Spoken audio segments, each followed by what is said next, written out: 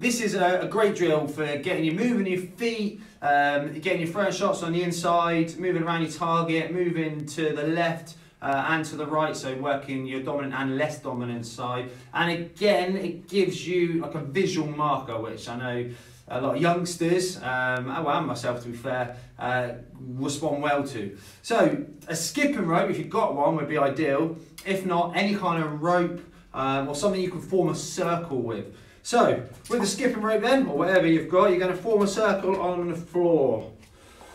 How big's a circle? Well, that's up to you. Uh, the bigger the circle, obviously, the more you'll move around the outside. The smaller the circle, obviously, the less you'll move around the outside. So again, it's it's kind of up, up to um, kind of up to you how much you want to move. So how do we do it then? Boxing stance, lead foot right on the edge of the circle. There's 101 different drills for this um, for this exercise. I'm going to give you a couple, uh, but have a play, have a think post some videos and tag me in it of other stuff you've done. That would be great. Um, but here are a couple of things you can do. So obviously I'm, a, I'm an orthodox. So my lead foot is my left foot. Obviously is going to be just on the edge of the skipping rope. All these drills done with good technique. There's no point practicing poor technique. My lead foot just on the edge of the skipping rope. And all I'm going to do is I'm just going to not throw any shots. I'm just going to get used to circling around. So let's pretend my target is in the middle. All right, well maybe I say in the middle, sorry, the other side of the skipping rope, not in the middle, the other side of the skipping rope. So as I move around the circle, I'm going to use good technique, good form, make sure my legs don't cross, and make sure that my lead foot it stays right on the edge, right on the edge of that circle. You can imagine now my opponent is opposite me.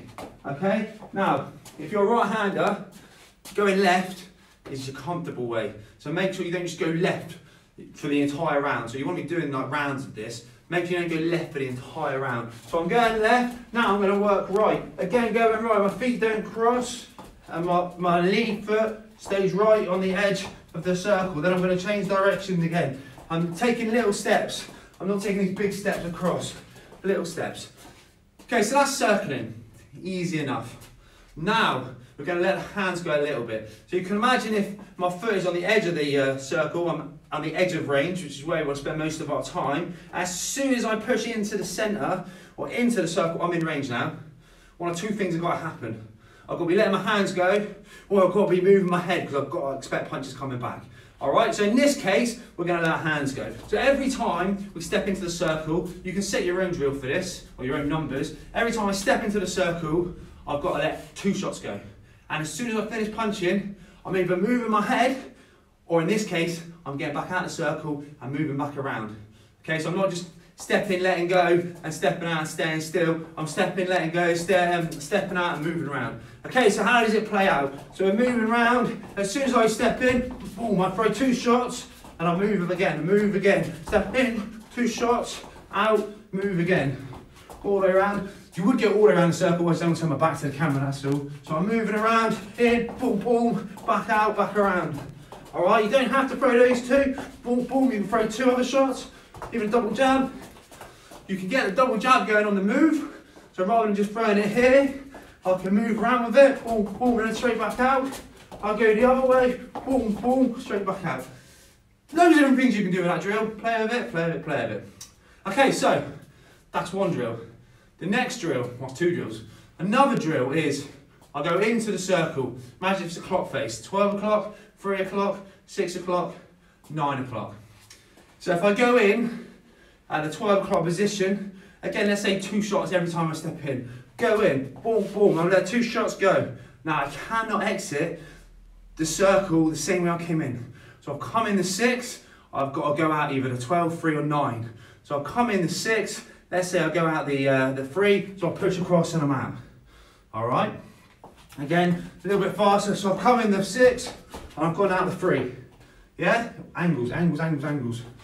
Or I've come in the 6, and I've gone out the 9.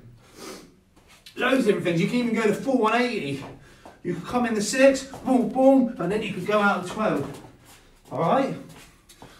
Angles, just do a round of that. Don't always go the way that you're comfortable. They're quite big, 90 degree angles. I do tell you not to, not to be so greedy when you're angling. Um, so if you wanted to, just I don't want to list every number on the clock face, but if you're more about the, I'm going to go in at the uh, the six and come out at a five, or the, that's fine. But like I said, I don't want to give you every single clock face number. So that's your angles. One more drill, and then you can obviously come up with your own. Is every time I step into the circle, I'm on the inside. So I'm going to work on the inside with four tight little shots and then exit. Again, try not to exit straight out. So we're here, I've come into the middle, I'm on the inside, hands up, chin down, elbows tight. I might want to let four shots go, boom, but they're tight shots. So I don't want to start throwing straights, uh, long, sorry, straights, long hooks, long uppercuts. All right, they're tight. So I'm in here, I'm tight, my chin's down, I throw little four shots. All right, once I've done that, I'm out. All right, and then I can move again. We haven't talked about side stepping, but if you feel like side stepping around the outside, that's cool. But every time, boom, every time I step into the middle, I'm on the inside, bah, bah, bah, bah, and I'm back out. Bah, bah, bah, bah, and I'm back out. Bah, bah, bah, bah, bah, bah, bah, bah, bah, bah, bah, bah. Got it? Simple. In the inside work, on the inside, back out. Simple.